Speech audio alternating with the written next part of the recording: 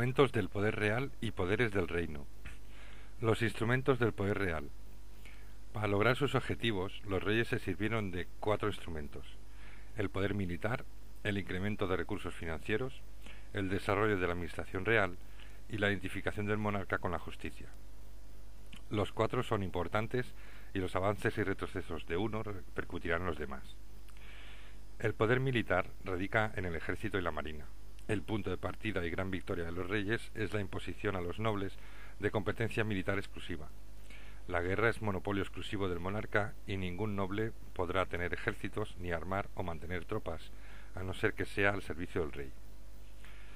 La, competición bélica fue estimulada por avances técnicos como el uso eficaz de la pólvora, desarrollo de artillería y armas de fuego individuales o cambios en fortificaciones ante la necesidad de defenderse de cañonazos.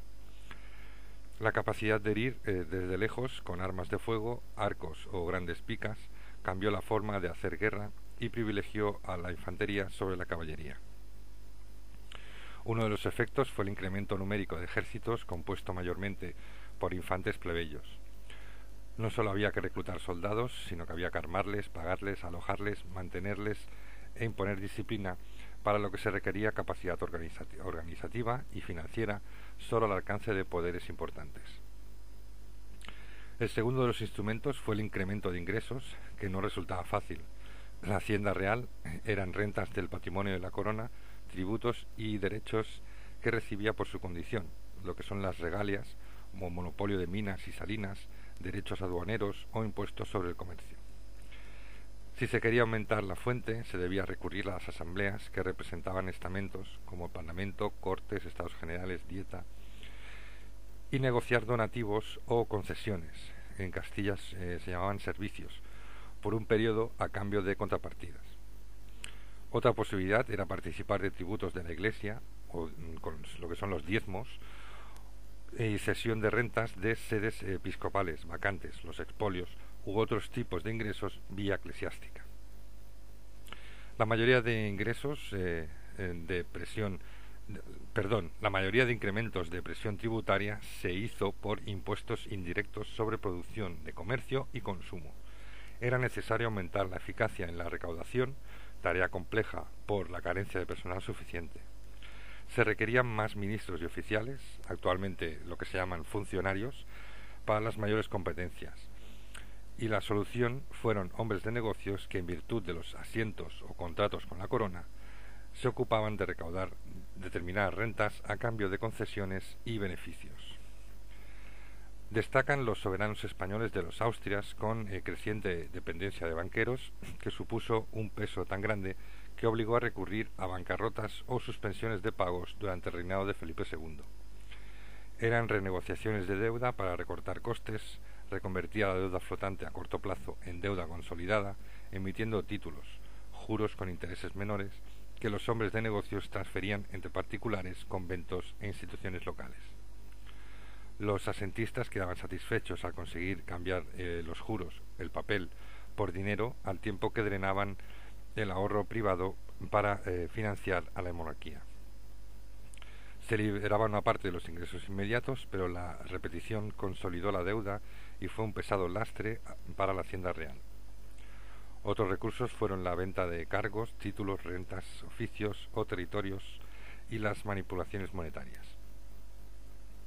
El tercer instrumento se basó en el desarrollo de la administración dependiente del rey. El incremento de competencias y ámbitos de actuación del monarca requiere un aumento de las dependencias, por lo que en reinos en que se avanza hacia un reforzamiento real, crece la administración.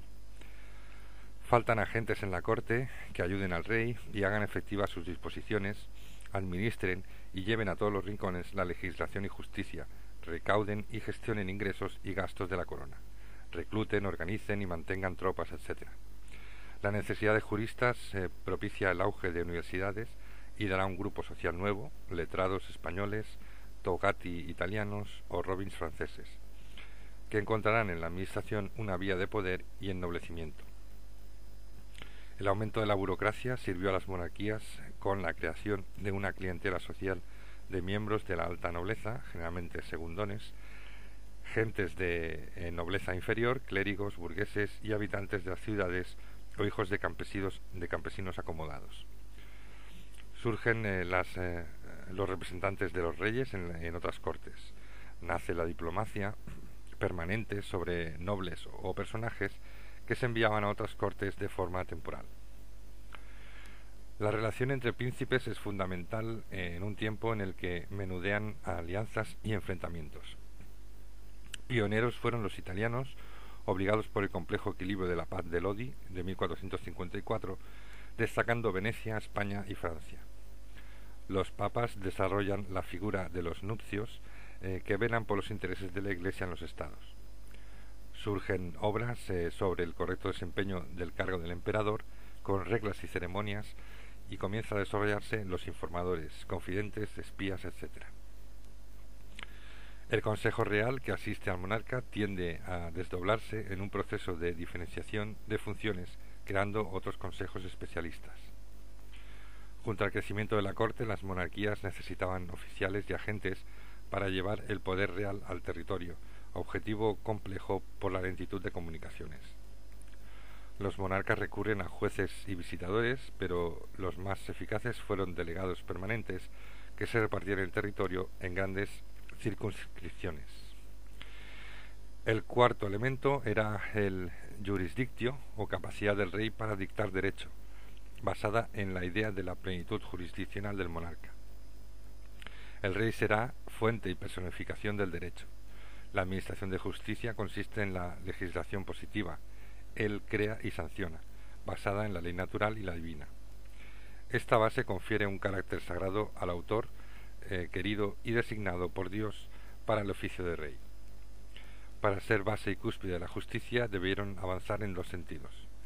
Primero, sobreponerse a las jurisdicciones particulares y exentas que había estructurado una administración de la justicia con instancias capaces de llegar a todo el territorio. Y segundo, intentar clarificar la legislación que pusiera en orden disposiciones, leyes, usos y costumbres acumuladas.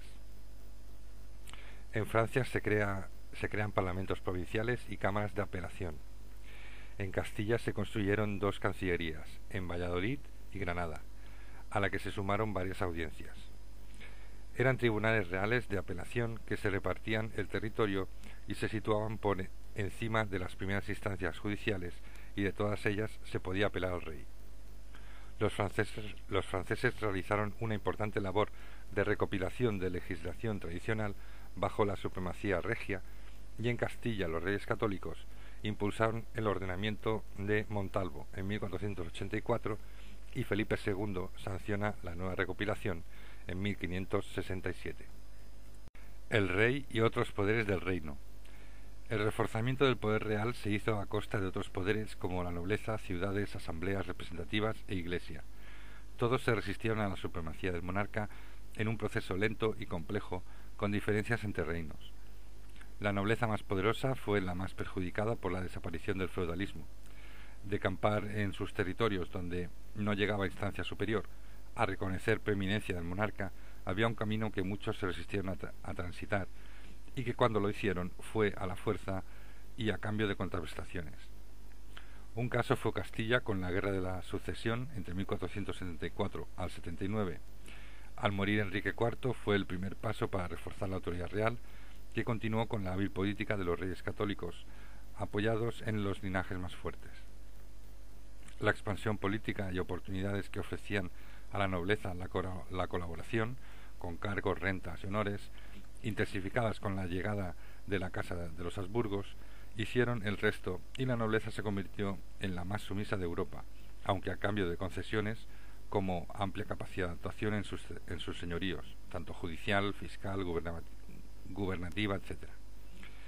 En Inglaterra, la Guerra de las Dos Rosas, entre 1455 al 85, provocó cambios en la nobleza sometida por los dos primeros monarcas, los Tudor. Más complejo resultó en Francia, donde los avances del siglo XV y primera mitad del XVI no sirvieron de mucho ante la crisis de las guerras de religión. El caso extremo está en Polonia, donde la nobleza impidió consolidar una monarquía fuerte. Las divisiones de nobleza en Escocia, unidas a la crisis provocada por la difusión de la reforma, supusieron un fuerte obstáculo para el reforzamiento, eh, reforzamiento del poder real. Otro poder afectado fueron las ciudades, donde los nobles eh, consiguieron dominar varios municipios por la diversidad de espacios eh, de poder que ofrecía. La ciudad se configura como un ámbito diferenciado con grupos sociales diversos en los que hay nobles de distinta clase, letrados, hombres de negocios, comerciantes, rentistas, etc. Las principales ciudades ejercían autoridad y no era sencilla la sumisión al poder real y muchas veces se hizo por contraprestaciones. Donde el poder real se impuso fueron fundamentales los representantes reales en principales ciudades y distritos, jueces de paz ingleses, corregidores castellanos o cuerpos oficiales franceses. Se trataba de controlar la justicia y las finanzas. En ciudades-estado italianas, una localidad dominaba un espacio territorial sin someterse a la autoridad superior. Muchas se mantuvieron como estados soberanos y salvo en las repúblicas aristocráticas como Venecia, Génova o Luca, se vieron sometidas en los últimos siglos de la Edad Media a procesos de control principescos de poder, si bien varias desaparecieron a principios de tiempos modernos. Es el caso de los Medici en Florencia, los Visconti Sforza en Milán, los Gonzaga en Mantua, los Montefeltro en Urbino o los Malatesta en, Rimini. En Sicilia, el rey de España destacan los antiguos privilegios de Messina, que le permitieron un elevado grado de autogobierno, aunque Palermo competía con ella por albergar la corte virreinal. En Alemania existía una notable tradición eh, de gobiernos urbanos, con muchas ciudades que apenas reconocían una instancia superior, lo que contribuyó a impedir reforzar el poder imperial. En Castilla, sobre todo el Valle del Duero, la resistencia de los poderes urbanos dio lugar al levantamiento de las comunidades entre 1520 al 21, a inicios del reinado de Carlos V y que pudo sofocar con el auxilio de la alta nobleza. El tercer de los afectados fueron las asambleas representativas. En la Baja Edad Media surgieron en diferentes reinos curias y reuniones de distintos estamentos basados en la idea de colaborar con el rey en labores de gobierno. Eran las Cortes de Castilla, Aragón o Portugal, Estados Generales en Francia, Parlamento de Inglaterra, Nápoles y Sicilia, o Dieta en el Imperio, Polonia o Suecia. Las asambleas eran periódicas por convocatoria real y sus miembros no eran elegidos por los, eh, que, por los que representaban. Se llamaban representativas por su origen y estructura estamental, con tres brazos con, eh, con miembros de cada estamento, aunque las Cortes de Aragón o la de Suecia contaban con cuatro miembros, mientras las dietas de Polonia y o Hungría contaban de solo dos, alta nobleza y nobleza menor. La convocatoria real era otra de las características de las asambleas y ofrecía a los monarcas oportunidades de gobernar sin ellas. Dependía de las normas y constituciones de cada territorio. Es allí donde consiguieron competencias legislativas, fiscales o militares, y los reyes tuvieron que convocarlas y pactar con ellas. Una de las atribuciones de los parlamentos era aprobar impuestos, por lo que la mayoría de monarcas se veían forzados a convocarlas cuando necesitaban ampliar sus ingresos. La fuerza de los parlamentos era aprovechar la convocatoria para elevar quejas y peticiones si había respuesta real antes de, conceder el servicio, había más posibilidades de conseguirlo que al contrario. Los deseos de eliminar obstáculos tendieron a convocarlos lo menos posible e imponer el procedimiento más favorable. En la Iglesia la legislación del rey se basaba en la religión, por lo que no podía prescindir de su respaldo. Colabora a escala local con sermones, confesionarios, creación y eh, control de opinión, como en las diócesis del reino, país y papado. El papa no era un simple poder espiritual, ya que tenía capacidad de actuación en las iglesias de cada reino o territorio y percibía rentas de distintos países. Reforzar el poder real requiere limitar y controlar poderes eclesiásticos objetivo delicado en la línea del regalismo por su defensa de regalias inherentes a la soberanía, a la soberanía del monarca sobre los de la Santa Sede de tradición medieval. Los reyes católicos y sucesores eh, consiguieron la concesión de impuestos de la Iglesia, tercias, eh, excusado y cruzada, pagadas eh, por eclesiásticos con el subsidio o cargos vinculados a la Iglesia con rentas, maestrazgo, órdenes militares. La concesión principal fue el Tribunal de la Inquisición para velar por la pureza de la fe en la línea de las diversas eh, inquisiciones eclesiásticas, pero con dependencia directa del poder real, lo que al principio lo convirtió en poderoso instrumento para su reafirmación.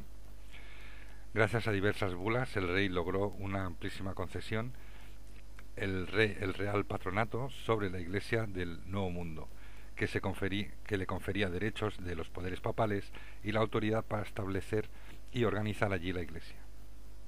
El rey de Portugal obtendría el padroado o concesión similar en sus territorios de ultramar. Para los reyes, eh, controlar la Iglesia también fue un medio para asegurarse lealtad de grupos sociales que aspiran a nombramientos eclesiásticos. Pese a las concesiones, las tensiones regalistas y roces con el papado fueron frecuentes. El poder del papa no era el mismo en todos los territorios.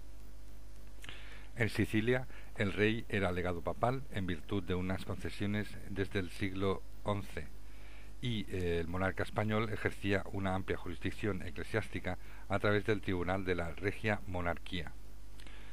En Nápoles el poder del Papa era superior eh, al tratarse en origen de un feudo pontificio con una renovación de investidura con cada sucesión. En reconocimiento, el rey de España, a través de su embajador, rendía pleitesía al Papa y le entregaba, le entregaba tributos sobre un caballo blanco.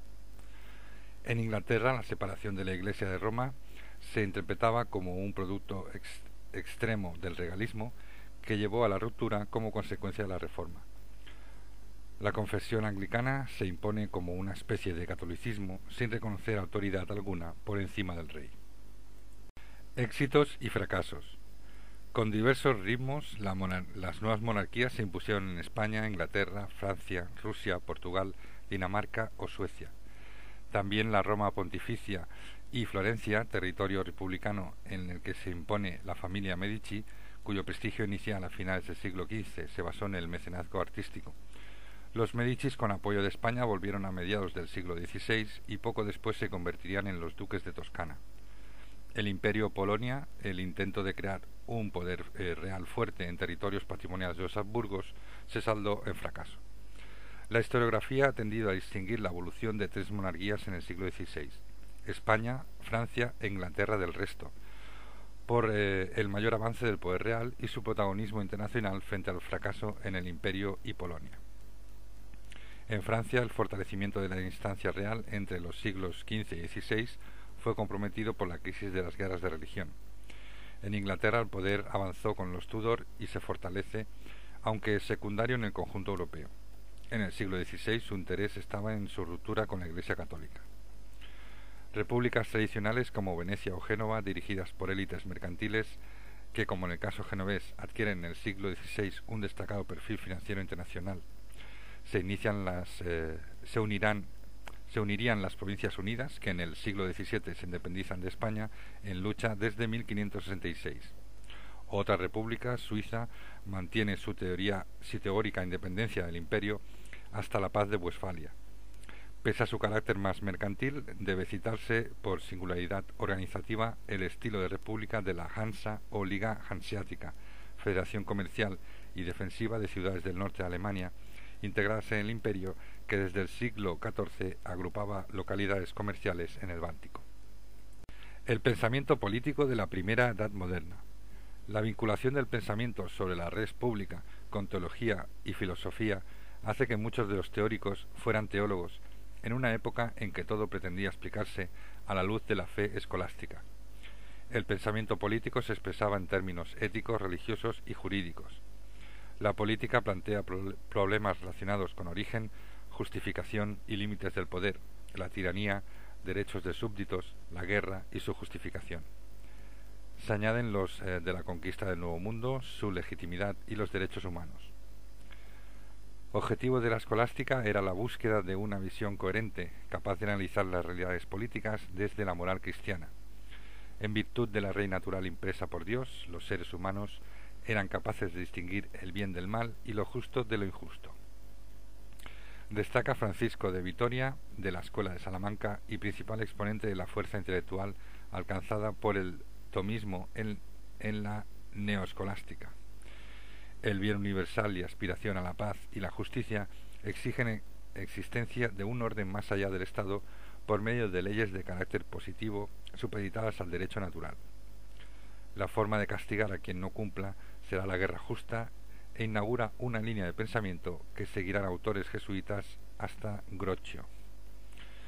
Los tratadistas bajo medievales y de inicios de la Edad Moderna estaban lejos de un pensamiento uniforme.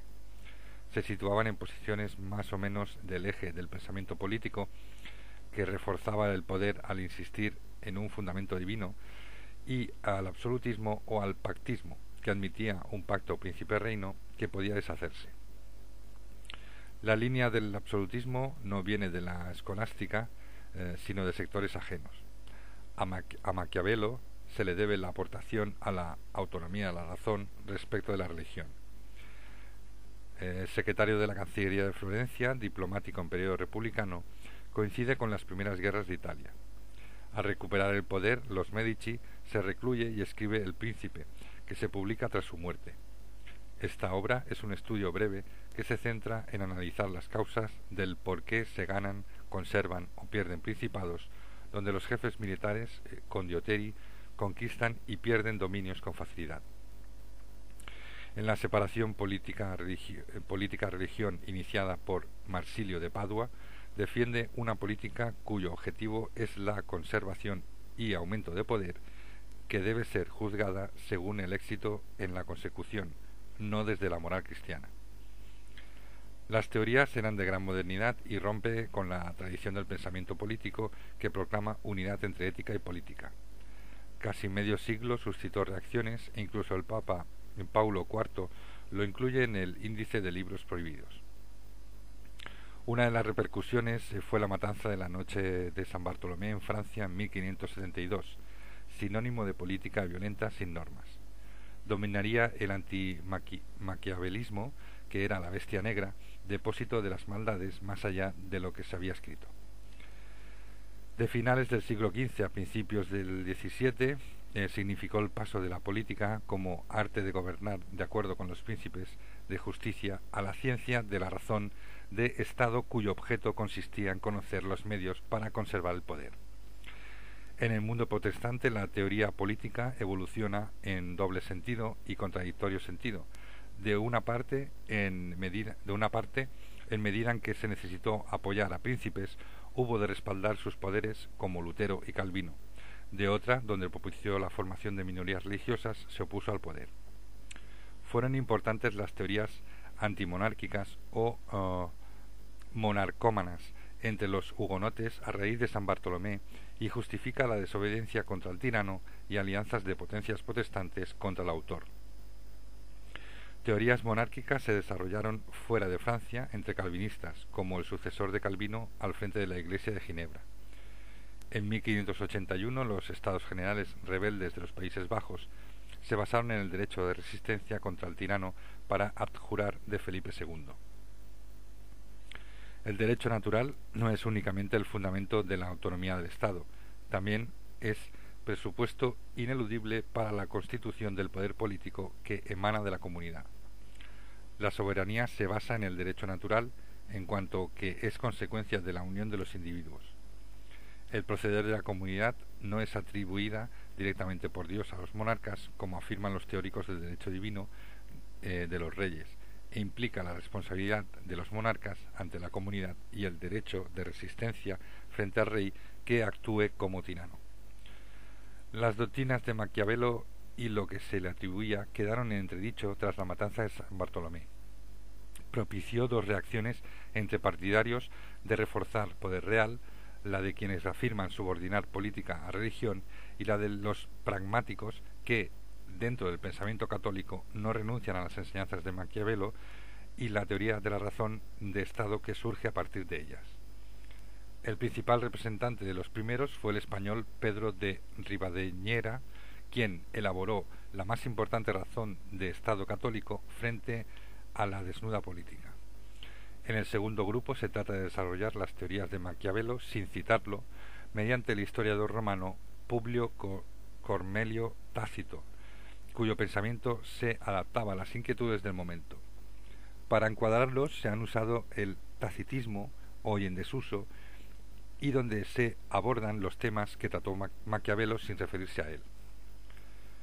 La principal afirmación del poder de los reyes no provenía de la lectura y aplicación de las enseñanzas de Tácito, sino del fermento intelectual que supuso la crisis de las guerras de religión. La búsqueda de una fórmula que permita superar las guerras y llevó al jurista Jean Bodin del grupo de políticos a basar el poder del rey en la soberanía, concepto independiente de las concesiones enfrentadas. Su obra eh, define la soberanía como poder que no reconoce otro superior en su territorio y no está sometido a las leyes, ya que el soberano es fuente de derecho. La capacidad de dar leyes colectivas e individuales sin el consentimiento de un superior igual o inferior es el atributo primario de la soberanía. De la capacidad de dictar eh, leyes se deriva interpretar y ejecutar, declarar guerra y paz, nombrar magistrados, ser última instancia judicial, acuñar moneda, imponer tributos, etc. El poder soberano solo está limitado por leyes divinas y naturales, por lo que el soberano no es responsable entre sus súbditos, pero sí ante Dios. No obstante, afirma que debe eh, respetar pactos y constituciones o leyes básicas y no puede alterar normas de sucesión a la corona o eh, enajenar el dominio, el dominio o enajenar el dominio público.